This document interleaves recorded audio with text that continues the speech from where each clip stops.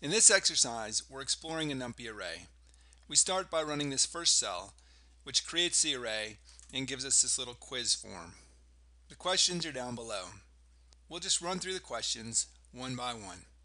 First question, how many elements are in the array? Well, that's the array size, so it's just ar dot size, 120. We'll go enter that in the quiz. 120, check. Correct.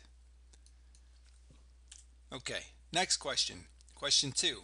How many dimensions are in the array? That's the ndim property. ar.ndim 2. Incorrect. Oops, no, I put it in the number 3. It's question 2 is right here. Check, correct. How many rows are in the array? Well, there's a couple different ways we can find this out. One is to use the shape function of NumPy and just pass it the array. And that gives us first the number of rows and then the number of columns. So that's one way of doing it and that answers questions 3 and 4. We can also use NumPy's size function. And in this case we pass the array and the dimension. In the first dimension or the zeroth dimension is the rows. So it shows 15. And the second dimension or the one dimension is the columns and that's 8. So for number 3, the answer is 15. And for number 4, the answer is 8. Okay, on to questions 5 and 6.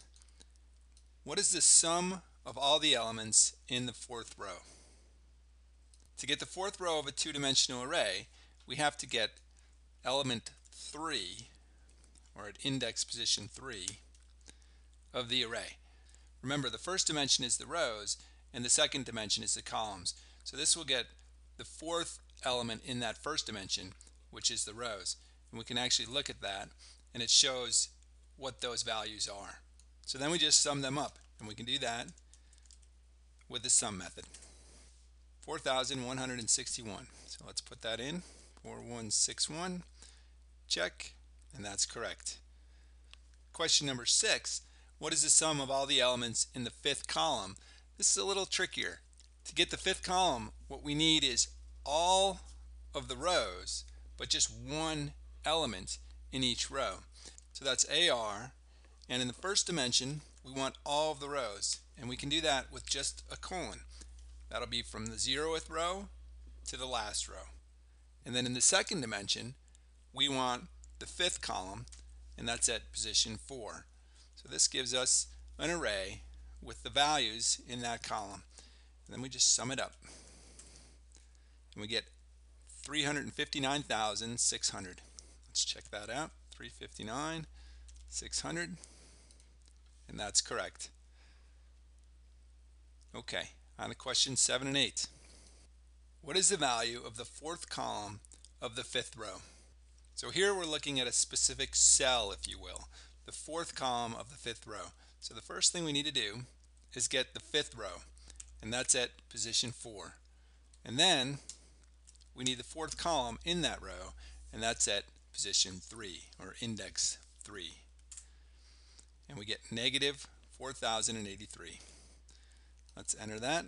Negative 4083. And that's correct. Last question. What is the highest value of the array? That's actually an easy one. We can just use the max method and it's 69,620. 69620. Check. Very good. Next, you'll do a reading on random sampling and another exercise.